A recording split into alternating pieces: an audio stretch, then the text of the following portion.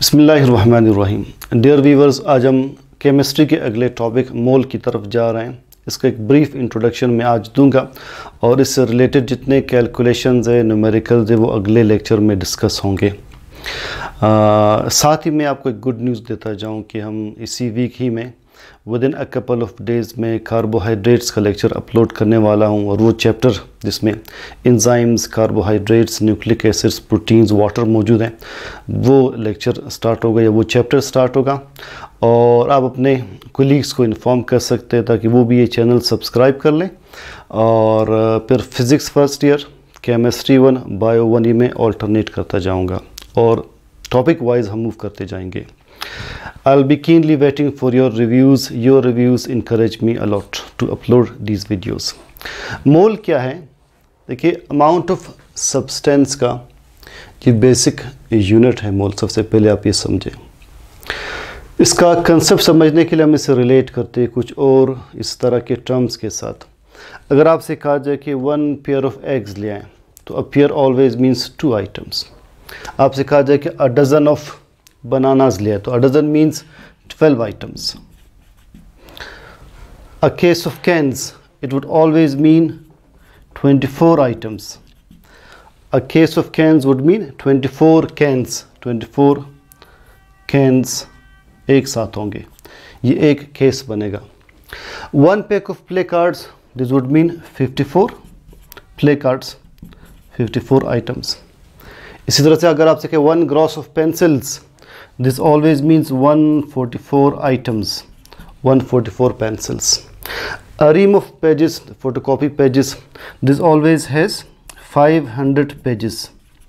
बिल्कुल इसी तरह से मोल भी एक क्वांटिटी है, एक नंबर है। One mole of a substance always means six point zero two two into ten raised for twenty three items वो आइटम्स क्या होंगे? वो आइटम्स होंगे पार्टिकल्स और ये पार्टिकल्स हो क्या सकते हैं? ये पार्टिकल्स होंगे एटम्स आइंस मॉलिक्यूल्स पार्टिकल्स क्या होंगे? एटम्स हो सकते हैं. मॉलिक्यूल्स हो सकते हैं. और आइंस हो सकते हैं. So one mole is a quantity that always contains these many particles. 1 mole is a quantity that contains 6.022 into 10 raised power 23 particles. ये कंसेप्ट एक इटालियन साइंटिस्ट ने दिया था, एक Italian chemist Amedeo Avogadro Amedeo Avogadro उन्होंने mole का concept दिया था। मोल एक इटालियन वर्ड है। इसकी ओरिजिन इटालियन वर्ड से है। And this word means, this word, mole means a huge mass. Or it means a heap or a pile. H E A P, heap और a pile. बहुत सारी चीज़ों का ढेर एक मोल कहलाता है। उस ढेर में कितने पार्टिकल्स होंगे? इतने पार्टिकल्स होंगे। इस तादाद को कहते हैं एवोगेड्रोज नंबर। एमिडियो, एवोगेड्रो, ने चूँकि इसका कंसेप्ट दिया था उसी के नाम पर है एवोगेड्रोज नंबर एन ए से हम शो करते हैं। So the number of particles present in one mole of a substance is known as Avogadro's number. अब इसे मज़ीद समझने के लिए और रिलेट करने के लिए आप एग्जांपल्स देखें। वन मोल ऑफ़ एच का क्या मतलब होगा? वन मोल ऑफ़ एच का मतलब होगा these many atoms of hydrogen one mole of H two का क्या मतलब होगा? These many molecules of H two अब ये कैसे पॉसिबल है? हम यह कंफ्यूज हो रहे हैं। वन मोल ऑफ़ एच में जितने पार्टिकल्स है one mole of H two में तो ट्वाइस होने चाहिए। नहीं, चूँकि वन मोल है जैसा दोनों में पार्टिकल्स सेम होंगे। और अगर आप इनफैक्ट इसे एनालाइज कर ले पार्टिकल्स ट्वाइस ही बन रहे हैं। ट्वाइस कैसे बन रहे हैं? इस केस में, अगर आपके फाइव पार्टिकल्स कैसे होंगे? ये होंगे five particles one two three four five अगले केस में H2 के केस में फाइव पार्टिकल्स कैसे होंगे? One two three four five यहाँ का हर पार्टिकल H है। यहाँ का हर पार्टिकल H2 है। काउंट सेम है या डिफरेंट है? काउंट सेम है। What we are interested in is the count हम साइज़ को नहीं देख रहे, हम काउंट को देख रहे हैं। तो यहाँ पर जितने एटम्स होंगे इस तरह के, यहाँ पर उतने ही इस तरह के मॉलिक्यूल्स होंगे। तो ये कंसेप्ट क्लियर होना चाहिए। इसी तरह से one mole of H two O means these many molecules of H two O molecules of H two O one mole of O H का मतलब होगा the same number of ions of O H ये तो हमने particles relate किए। One mole of every substance contains the same number of particles which में be ions molecules और atoms अब इनके वॉल्यूम्स रिलेट करते हैं। हर सब्सटेंस का एक मोल जो वॉल्यूम ऑक्यूपाई करें, इसे हम कहते हैं molar volume so one mole of every substance occupies the same volume in gaseous phase उसे कहते हैं molar volume what is molar volume volume occupied by one mole of a gaseous substance at S T P's molar volume इसकी value क्या है? इसकी value है 22.4 litre या 22.4 DM cube litre को हम डेसीमीटर क्यूब भी लिखते हैं।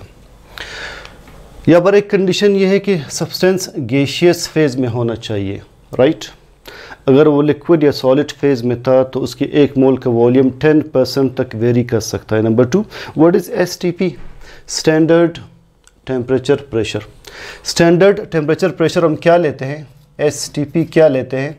ज़ीरो डिग्री सेल्सियस का टेम्परेचर और वन ए का प्रेशर इसे हम स्टैंडर्ड लेते हैं। Zero degree Celsius means 273 Kelvin on the Kelvin scale one A T M means 760 millimetres of mercury of pressure जो कि आगे आप पढ़ेंगे। तो एक सब्सटेंस का एक मोल हमेशा सेम वॉल्यूम ऑक्यूपाई करेगा गैशियस फ़ेज़ में। किन कंडीशंस पर? स्टैंडर्ड टेम्परेचर और स्टैंडर्ड प्रेशर पर। तो लिहाजा आप पीछे से रिलेट कर लें। वन मोल ऑफ़ एच उसका वॉल्यूम ये होगा। One mole of H two का वॉल्यूम सेम होगा। One mole of H two O का गैशियस फ़ेज़ में सेम वॉल्यूम होना चाहिए। One mole of O H ions का सेम वॉल्यूम होगा। Molar volume remains the same if conditions remain the same अब इनके मासेस हम कंपेयर करते हैं। वन मोल ऑफ़ एच का मतलब होगा 1.008 gram of H one mole of H two का मतलब होगा इसका twice 2.016 gram of H two तो यहाँ पर आपको देखिए दो बातें क्लियर हो रही है। ये जो वन ग्राम हाइड्रोजन का है, ये एक हाइड्रोजन एटम का मास नहीं है ये एक हाइड्रोजन के मोल का मास है। हाइड्रोजन के एक मोल का मतलब क्या होगा? दीज मैनी एटम्स इतने सारे एटम्स मिलकर एक ग्राम बनाते हैं। ठीक है? इसी तरह से one mole of H two means two point zero one six gram of H two one mole of O H two O means eighteen gram of water and one mole of O H ions का मतलब है sixteen plus one seventeen gram of O H तो लिहाजा हम एक statement conclude कर सकते हैं कि one mole of every substance has number one the same number of particles same number of particles occupies the same volume but has a different mass so one mole of every substance has the same number of particles same volume but different mass mass इनका different होगा। तो I hope कि ये concept मोल का आपको clear है। तो mole simply count को शो कर रहे हैं। ये साइज़ पर नहीं जा रहा, ये मास पे नहीं जा रहा। फॉर एग्जांपल मैं आपसे कोई last point half dozen eggs ले आए। आप कितने एग्स लाएँगे? देखिए, आप one two three four five six six eggs ही लाएँगे हाफ़ डज़न एग्स अब मैं आपसे कुछ हाफ़ डज़न वाटर मेलन्स ले आए।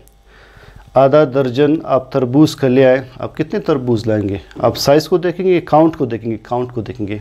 आप लाएँगे one two three four five six watermelons आपसे कहूँ कि वन मोल ऑफ़ हाइड्रोजन ले आए। वन मोल ऑफ़ नाइट्रोजन ले आए। आप कितने पार्टिकल्स लाएँगे?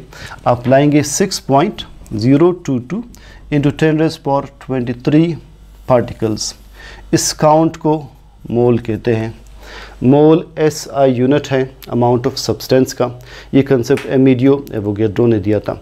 इससे रिलेटेड इक्वेशंस कि how to determine number of moles अगर आपको कहा जाए कि पानी का एक किलोग्राम है आइस का एक किलोग्राम है, ठीक है?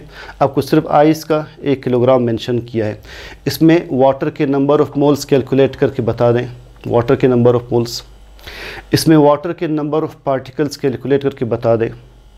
इसमें हाइड्रोजन के नंबर ऑफ़ एटम्स कैलकुलेट करके बता दें।